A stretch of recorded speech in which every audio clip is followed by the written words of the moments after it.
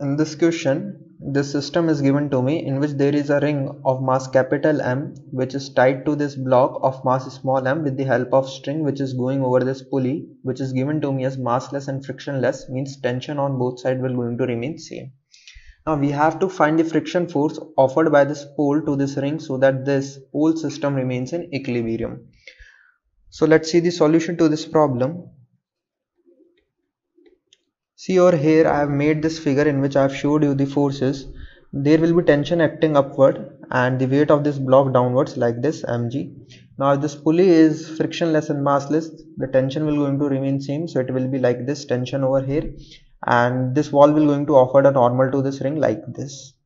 This wall will going to offer the friction in upward direction like this. And the weight of this ring will be in downward direction that is capital mg so as this ring is not moving in vertical direction, so I can balance force in vertical direction for this ring. So I can write friction force will be equals to capital M into G and this friction force is acting in upward direction. So my correct answer will be A over here. A is my correct answer to this problem. Now some of you must be having a doubt in option B. So you must have written for block for a small block you have written tension equals to mg okay. Then you have you might have written normal equals to tension.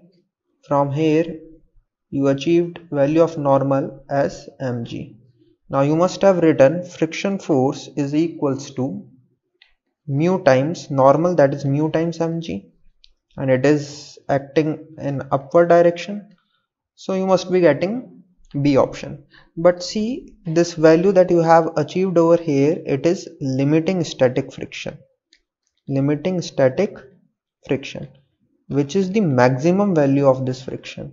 This is the maximum value. This value of friction might be applied or might not be applied. I cannot comment on it because we know that static friction is of self-adjusting type. It is self-adjusting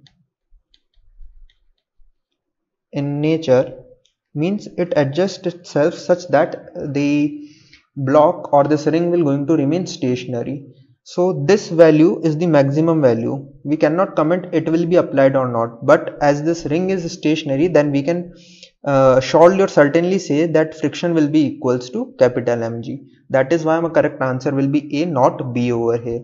I hope you have uh, understood this problem and this misconcept must be cleared Thank you very much.